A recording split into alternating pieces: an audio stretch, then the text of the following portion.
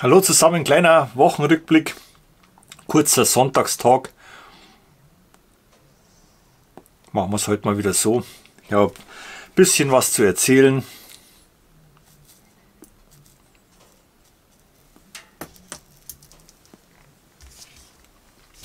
Aber legen wir mal die Pfeife weg. Die stört beim Reden.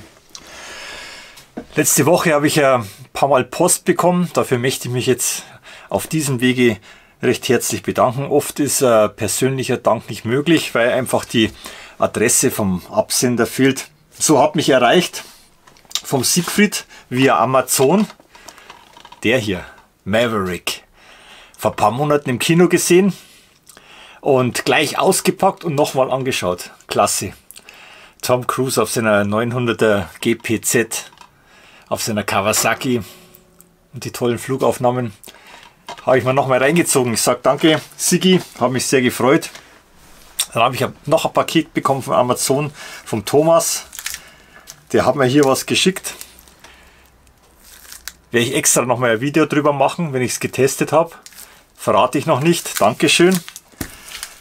Der Matthias hat mir drei Senf geschickt. Und zwar super interessante. Ich bin ein Senfliebhaber. Düsseldorfer Löwensenf, Weißwurstsenf. Ich mag eigentlich alles jede Art von Senf. Und da ist der gekommen, der Altenburger, super scharf. Da bin ich schon gespannt. Wahrscheinlich eine kleine Challenge. Dann feurig scharf, wenn man die Schärfe unterscheiden kann, werden wir sehen. Feuerwehrsenf. Und zu guter Letzt, der ist ein bisschen suspekt, muss ich sagen.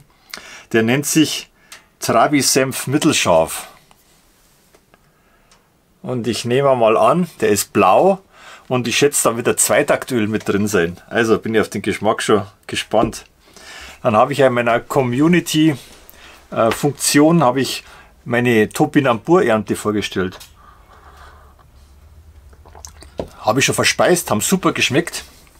Äh, dazu hat es Fleischpflanzel gegeben oder Buletten oder Fleischkirchle, je nachdem wo man wohnt, heißen die anders und die waren hervorragend. Aber Leute, die haben Blähungen erzeugt, die waren von einer anderen Welt.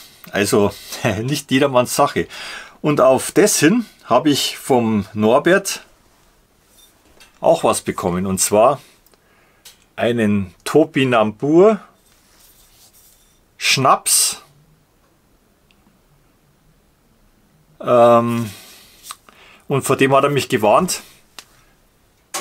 Man würde ihn besser zum Einreiben hernehmen als zum Trinken, aber ich werde ihn einmal testen und dann auch berichten, wie er schmeckt.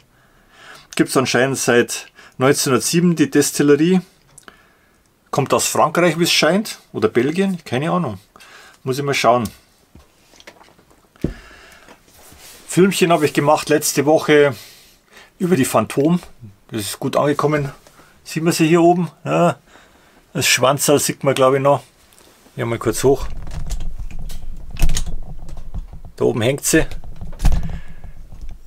Gute Kommentare gekommen von Leuten, die daran gearbeitet haben, die sie kennen, die sie fliegen haben sehen.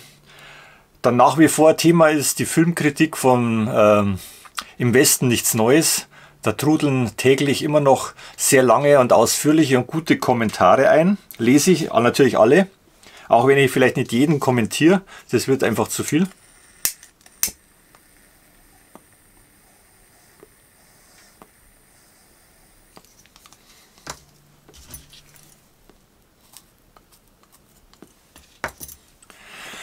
Auch die hier habe ich auf, weil ich muss mich erst schön machen. Ich bin noch unrasiert. Aber ich wollte zuerst den Film machen. Außerdem möchte ich heute noch Sport machen und dann äh, mache ich das in einem Abwasch sozusagen. Kleines Wortspiel.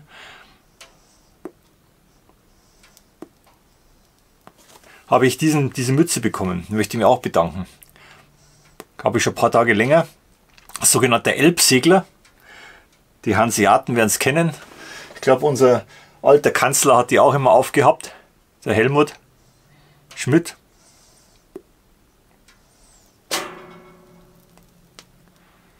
Dann habe ich letzte Woche, habt ihr vielleicht auch gesehen, wenn ihr manchmal in die Community reinschaut, äh,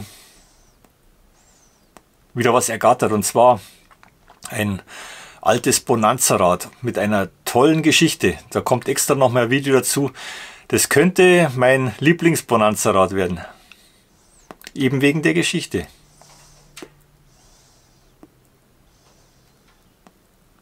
Hab schon ein bisschen sauber gemacht. Wieder interessante Sache. Vor allem bin ich erstaunt, was rausgekommen ist unter dem Schmutz.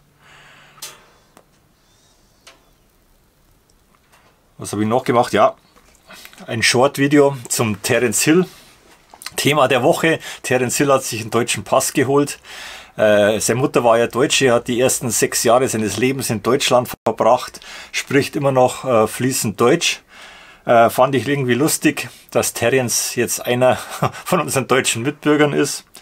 Äh, als ein Held meiner Jugend. Ich habe die Filme immer gern geschaut. Bud Spencer Terence Hill war damals das Größte. Ist auch im Kino gelaufen damals für zwei Mark in der Nachmittagsvorstellung am Sonntag. Jugendvorstellung. Da haben wir die rauf und runter geschaut und bis heute nicht vergessen. Was gibt es noch für Neuigkeiten zu erzählen? Ja, genau. Ihr wisst ja, ich habe angefangen hier mit Pfeifenvideos schauen und ähm, selbst welche zu machen. Bin der Pfeifen-Community immer noch sehr verbunden. Habe ich auch schon erzählt, da gab es damals die großen Pfeifenkanäle, die ich sehr gern geschaut habe. Das war einmal Rally Grufti, heute Ralfs Pfeifenkino, dann Dieter Niemann und Yogi, der Yogi Experience, habe ich immer gern geschaut.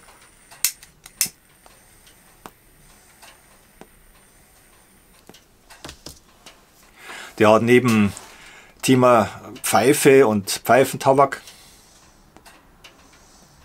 auch das Thema Natur, Wandern und Fotografie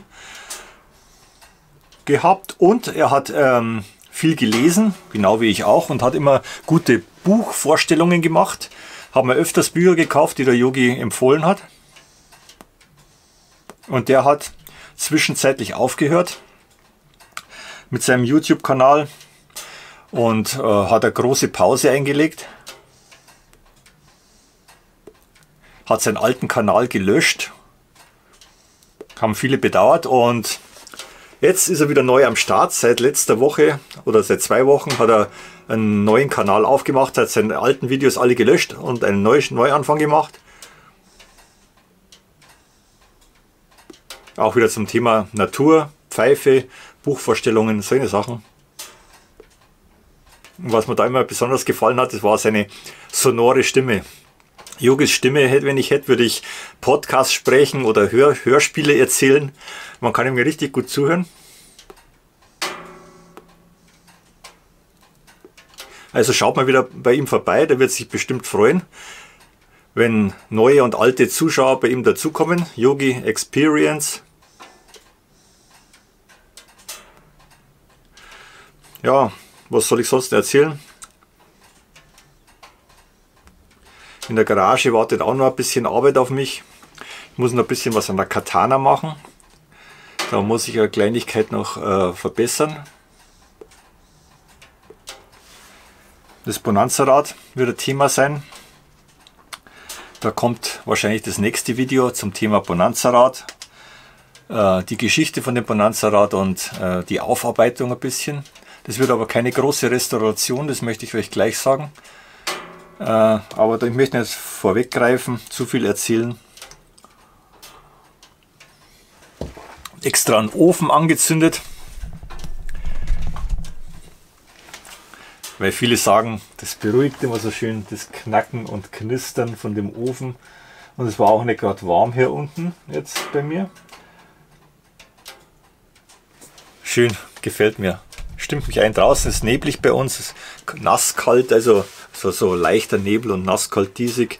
Nicht besonders schön, lädt nicht zu Outdoor-Aktivitäten ein heute, zu großartigen. Ja, bin ich auch schon fast durch wieder mit meinem Gesabbel.